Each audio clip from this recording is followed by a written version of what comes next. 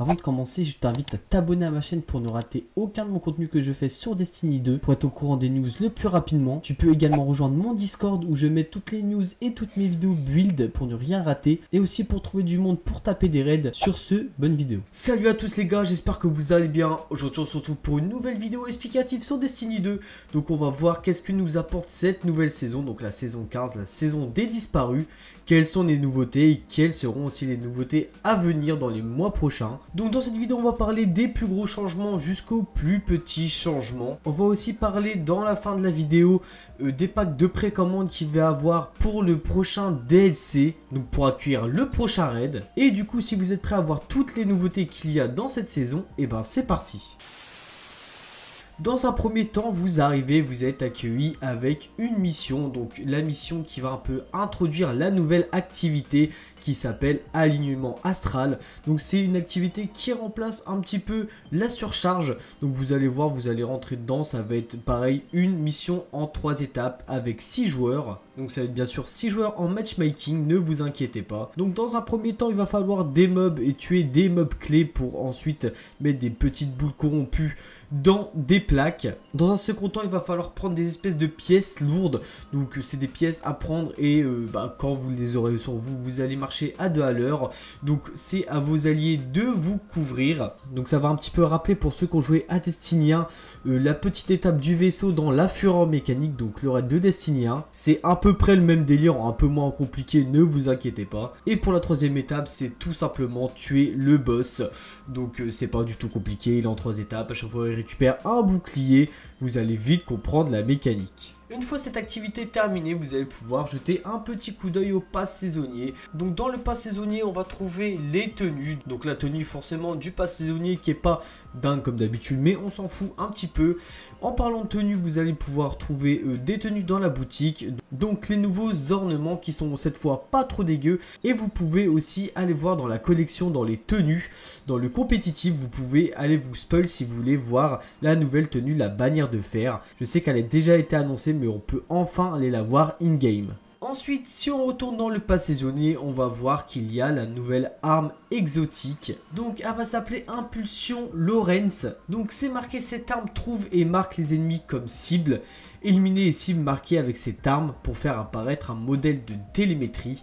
Obtenir des modèles de télémétrie confère de l'énergie de compétence. Obtenir 3 modèles de télémétrie sans mourir donne des bonus de dégâts à cette arme pour une longue durée. Donc en gros, vous pouvez voir sur le gameplay, euh, il va y avoir des petits mobs marqués en rouge. Dès que vous les tuez, vous allez récupérer un donné télémétrique. Quand vous en obtenez 3 sans mourir, ça va vous donner de la récupération de compétences et aussi un petit bonus de dégâts. Alors j'ai un petit peu testé, on fera un test approfondi un peu plus tard, mais ça n'a pas l'air terrible. En même temps, vu la description, voilà, il y a des armes exotiques euh, qui sont très pétées hein, dans le jeu, donc à essayer. Pour l'instant, je ne dis rien, mais ça n'a pas l'air d'être ouf. En parlant d'armes exotiques, vous allez aussi pouvoir obtenir une nouvelle quête pour une arme exotique. Alors vous allez pouvoir obtenir cette quête seulement si vous avez acheté le pass saisonnier. Ça va être une petite quête à faire avec Petra, mais on verra ça dans une prochaine vidéo. Je vous expliquerai la quête. S'il y a 2-3 trucs assez compliqués, je ferai une vidéo entière dédiée là-dessus.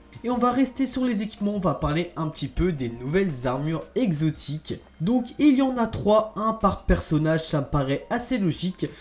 Pour le chasseur, on va avoir Saltabanque Radieux. Donc son effet, activer votre compétence d'esquive près des cibles, vous permet d'esquiver plusieurs fois pendant un court moment. Ensuite, pour l'arcaniste, on va avoir les menottes du non-être. Donc son effet, c'est vous obtenez une charge de grenade à dispersion supplémentaire. Active le suivi pour les projectiles de grenade à dispersion. Et enfin, pour le titan, on va avoir pas de plan B. Quand votre énergie de mêlée est pleine, les frags au fusil à pompe active votre frappe défensive et consomme de l'énergie de mêlée. Les frags au fusil à pompe vous octroient également de l'énergie de mêlée. Donc en ce qui concerne ces trois nouvelles armures exotiques, bien sûr, vous pouvez les looter dans les secteurs oubliés légendaires ou mythiques comme d'habitude. Je vais essayer de les tester, je vais faire 2-3 builds avec pour voir. Restez bien sûr sur ma chaîne si vous voulez voir ces vidéos sortir en temps et en heure. Mais bon, pour moi ça reste à tester, mais sur papier en tout cas, ça n'a pas l'air trop dégueu. Du coup, on va passer aux 2-3 petites informations euh, secondaires, mais qui ont quand même leur importance. Si vous lancez une petite game, vous allez vite remarquer que les balles balles de principales sont maintenant illimitées. Donc bien sûr, les modes et tout ça qui vous donnent des balles de principales ne servent plus à rien du tout, ils sont même enlevés. C'est pas plus mal comme ça, ça servait pas trop à grand chose de nous priver des fois de balles principales. Ensuite du coup, en parlant de modes, il y a plein de nouveaux modes, en particulier des nouveaux modes pour la stase bien sûr. Et ça c'est cool, on va pouvoir enfin faire des vrais builds complets sur la stase. Et bien sûr, vous avez aussi 2-3 modes supplémentaires que vous pouvez choper à Petra bien sûr au Simu. Il y a aussi des modes assez simples que vous allez choper euh, sur les armures, donc les jambes, le torse, etc. Mais par contre, petite parenthèse, je sais pas où est passé le mode traction. Donc pour ceux qui jouaient avec, moi je sais que je jouais sur tous mes builds avec. C'est un mode qui nous permettait de tourner quand on sprintait euh, assez vivement et pas au fur et à mesure comme le propose Destiny dans son gameplay de base. Bon, je sais pas si vous voyez c'est quoi comme mode, mais en tout cas, moi je pense qu'il y a beaucoup de joueurs qui jouent avec parce que c'est assez chiant la visée de Destiny sans traction.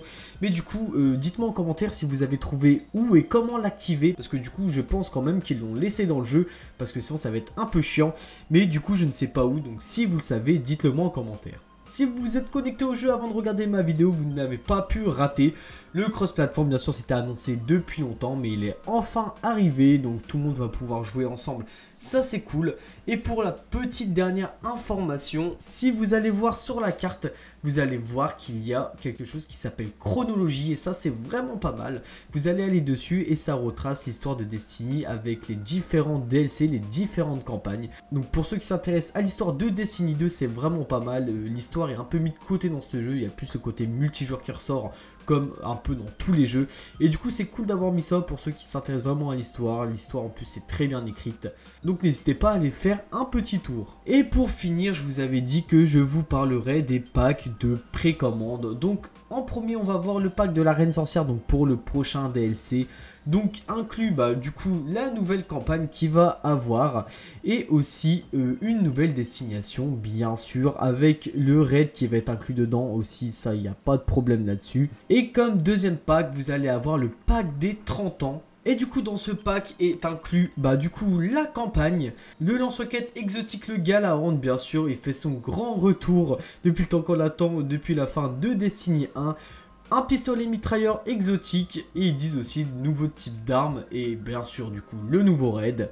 Et les ornements qui vont bien sûr avec le raid je pense et les armes aussi. Donc ces deux packs vous pouvez du coup les prendre maintenant mais ils ne seront disponibles que le 22 février prochain donc le 22 février 2022 et sont à hauteur de 30 euros pour le premier pack et de 100 euros pour le deuxième pack. Et bien voilà les gars je pense qu'on a fait le tour de cette nouvelle saison on attend avec impatience le DLC mais pour l'instant faut profiter quand même de cette nouvelle saison qui vient tout juste de commencer. J'espère que ma vidéo vous aura aidé, vous aura éclairci sur cette nouvelle saison.